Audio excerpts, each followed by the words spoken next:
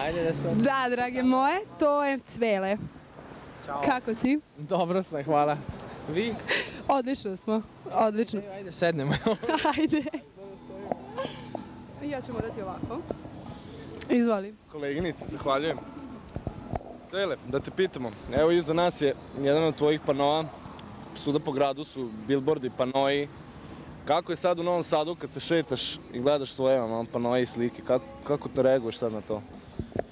Što se tiče panoje, slika i bilborda, pa dobro, nije mi prvi put ovaj, da vidim svoj billboarding i posteri, šta ja znam, radio sam za neke naše domaće ovaj, kuće, isto tako malo veće kao ovaj, Novosadska mlekara. Ovaj, pa se malo privikao već na to, tako da mi nije, nije, mi, nije mi strano. A i čak inostranstvu kad sam radio isto vidio sam sebe na billboardima, tako da se već privikao što se kaže. Ali interesuje me, pošto ti... Sastavni deo posla. Da, da, da, ali sam Novi Sad. Da, pa dobro, mislim, sam Novi Sad, oni su to malo izlepili zašto je kao novi proizvod, pa su ga baš ovaj, baš ga na svim ovim, evo ispa nam je mobil, pa nam je na svim, ovaj, aj ti podigni, pa nam je svim, ovaj, na svim stanicama i na, i na tako svim viđenim mestima su, ovaj, Ali dobro, ali bez obzira na sve ovo, ipak tvoj grad, ipak tvoj, tvoji ljudi. Kako uopšte sve te reakcije, kako ljudi reaguju? Pozitivno, negativno? O, pozitivno uglavnom, ne znam, tu, pogotovo u komšiluku gde kupujemo, ne znam, ujutru taj hleb i mleko, pa onda se napio već jednom, pa stalno te gledamo, pa opet neki komentar, pa dosadan si više popiga i tako, šta ja znam.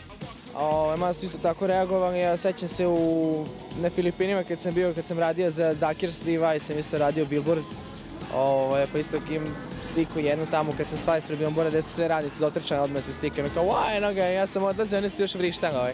To je njima bilo onako, eto. Tako da posle tako nečega ovde kod nas ne možete ni očekivati to od naših novosađana s obzirom da su svi malo obraženi kakvi jesu. Bez nekih većih razloga.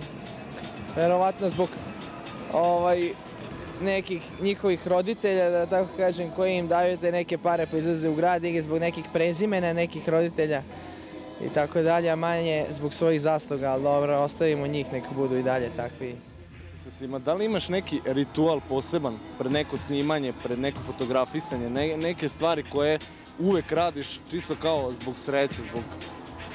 Pa šta ja znam, nemam, nemam neku posebnu, sad da kažem, neki ritual da se ja spremam nešto pred snimanje. Ja nosim ovog mog malog džavola koji mi donosi sreću. Nije džavol, šalim se, jedan mali bog filipinski. Ovaj, ali skinem ga pre snimanja, tako da ovaj, nemam, nemam nešto, mada često puta bio i lead u snimanju, volili su ga jako fotografe, dosta neobičan i redak. I onda je neki put bio i lider u snimanju, više su zoomirali njega nego mene. ali ovaj, nemam stvarno, ne znam, ono, trenira se ipak u dan uvek sat i po dva, eto, toliko da se ispušte taj neki izgled. Što tiče neke ishrane i toga, da to ubrajam u neki ritual opet da bi, da bi htjelo bi imao nekoj određenoj kondiciji. Ovaj, mogu da kažem eto da se hranim sa svim normalno, možda ne jedem masno, ali ništa sad da, da izbegavam, ne znam, neke količine i da jedem manje, jedem koliko mi se jede, znači, šta ja znam. Eto, to je to što tiče. Mislim, ritual neki poseban da ja se molim po suncu ili nešto nemam. Znači, ono, samo se dobro ispavam i ovaj, to je to. I koliko si dobio, koliko si izgubio, počevši sa ovim poslom? Pa s obzirom da sam ja to krenuo neke 97. i 8. kad je rekao ko mogu da krene, bilo kakav posao, mislim, da se nešto zaradi i da uzmemo na tu stranu da povučemo. Kad je povukao neku paralelu da sam ostao da radim u nekoj firmi, šta ja znam, ja mislim da bi puno izgubio u poređenju sa ovim sad što sam dobio.